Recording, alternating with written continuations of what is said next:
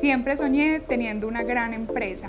El hogar es el, lugar más preciado de ser humano, es nuestro tesoro, es donde llegamos, donde descansamos, donde nos conectamos, compartimos en familia.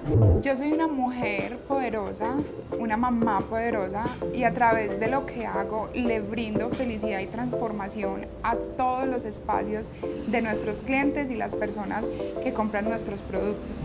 Mi nombre es Viviana Acevedo y yo soy empresaria y diseñadora de interiores. Realmente el diseño de interiores viene de una historia un poquito triste, pero que realmente me cambió la vida. Yo estudié negocios internacionales, emprendí varios negocios antes de tener mi empresa actual y yo vivía en el exterior. Y en medio de una depresión muy grande, yo eh, renuncié al trabajo que tenía y estaba literal tirada en un sofá por mucho tiempo, muy depresiva, ya con dos hijas. No, ya con una hija, tenía una hija en ese entonces. Em, y yo decía, yo no le encuentro sentido a mi vida, yo no soy feliz con lo que estoy haciendo, no me siento realizada.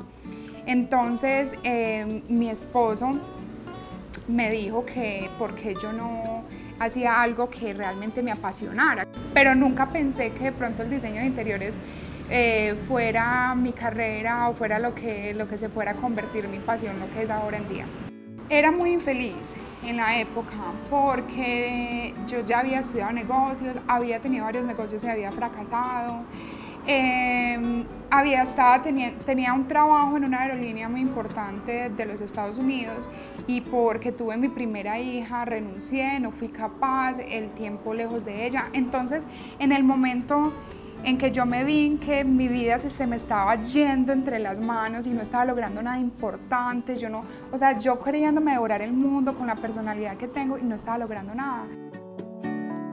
Yo les digo que aprovechen mucho los momentos donde tocas fondo, donde tienes una depresión aguda, donde estás más triste, donde estás llorando más, donde estás fracasando más, que aproveches ese momento y ese post cuando tú sales de esa depresión para atraer nuevas cosas a tu vida, para llevar a cabo nuevos, nuevos proyectos.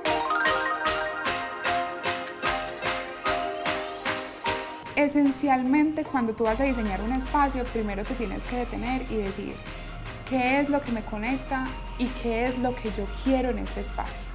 Porque yo te puedo decir a ti, no, hagamos esto, vamos a aplicar un estilo moderno industrial, pero tú eres clásica y a ti te encantan los colores tierra y los colores calmados, lo que para mí es muy hermoso y es algo que yo quiero potencializar en mi hogar o en mi negocio, para otra persona puede que no lo sea.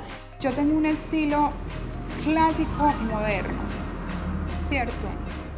A mí me encantan los espacios muy tranquilos, pero con un poquitico de lujo. Pero no me gustan los espacios sobrecargados. Estamos hablando de que la tendencia es tener espacios más naturales, tener espacios más fluidos, por eso están tan de moda los sofás curvos, nada rectangular así súper rígido, sino cosas más fluidas, mucha naturaleza. Diseñador de interiores, tú te quedas ahí.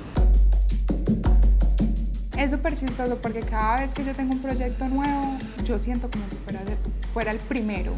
Yo me siento muy feliz. Yo me puedo ir de vacaciones, te cuento, 10 días y llego feliz de llegar a la oficina.